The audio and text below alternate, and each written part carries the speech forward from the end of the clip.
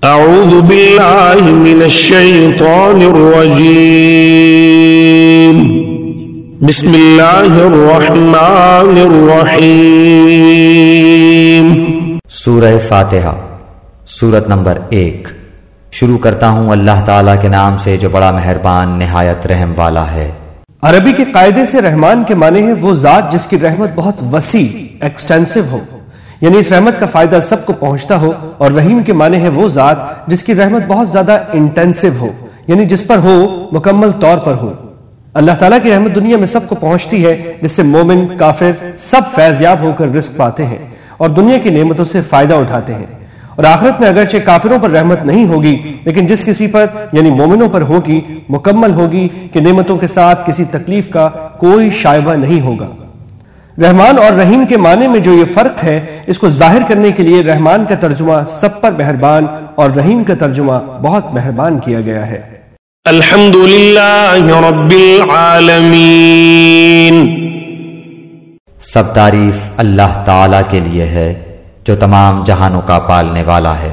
अगर आप किसी इमारत की तारीफ़ करें तो दर हकीकत वो उसके बनाने वाले की तारीफ़ होती है। लिहाजा इस कायनात में जिस किसी चीज़ की तारीफ़ की जाए, वो बिलाखिर अल्लाह ताला ही की तारीफ़ है, क्योंकि वो चीज़ उसी की बनाई हुई है।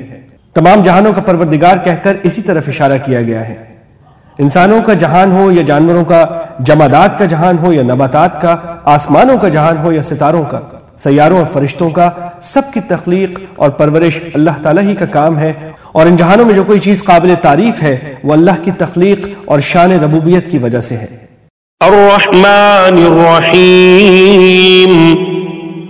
बड़ा मेहरबान निहायत रहम करने वाला। मालिक यौमिद्दीन। बदले के दिन यानी कयामत का मालिक है। रोज़े जजा का मतलब है वो दिन जब तमाम बंदों को उनके दुनिया में किए हुए अमाल का बदला दिया जाएगा। यूँ तो रोज़े जजा से पहले भी कायनात की हर चीज़ का असली मालिक अल्लाह ताला है, लेकिन यहाँ खास तौर पर रोज़े जजा के मालिक होने का ज़िक्र इसलिए किया गया है कि दुनिया में अल्लाह ताला ने ही इंसानों को बहुत सी चीज़ों का मालिक बनाया हुआ है। ये मिल्कियत अगरचे नाकस और आर्जी है, ताहम ज़ाहरी सूरत के लिहाज से मिल्कियत ही है। लेकिन क़यामत के दिन जब जजा और सजा का मरहला आएगा तो ये नाकस और आर्जी मिल्कियतें भी खत्म हो जाएँगी, उस वक्त जाहरी मिल्कियत भी अल्लाह ताला के सिवा किसी की नहीं होगी। नअबुदु व इय्याक नस्तईन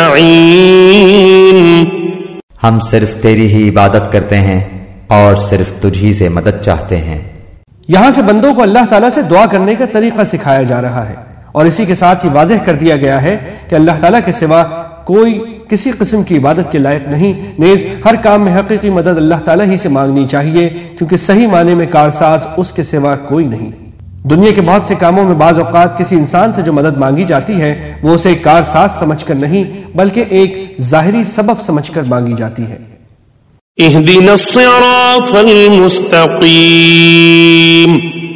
हमें सीधी और सच्ची राह दिखा।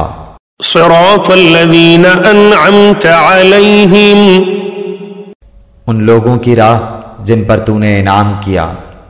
गैरिल